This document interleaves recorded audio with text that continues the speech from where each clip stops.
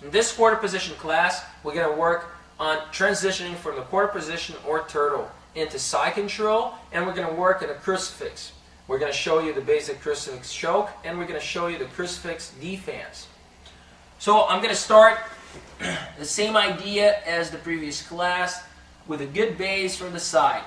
Foot planted on the ground, slight bend at the knee. This knee is down. I'm not really reaching in too far with my right arm. I keep it close to his hip here, and this hand is attacking his side here.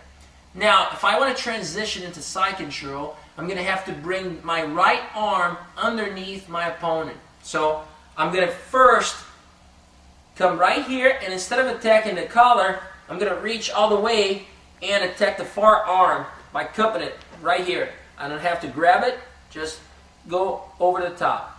Now, I'm going to leave this position here, and I'm going to square up with him so I can shoot the arm underneath and get my hand on top of my hand here. So, left hand controls the arm by the elbow.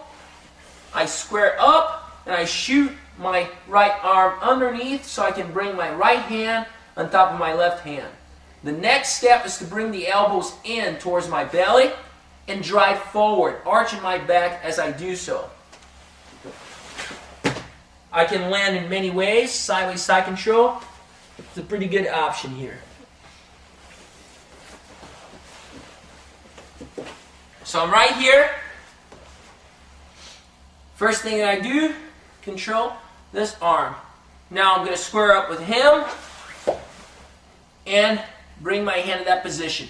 Pull the elbow towards you. Now drive forward as you arch your back. Now as I land, I can cover, and that brings a lot of pressure on top of him. The next position will be the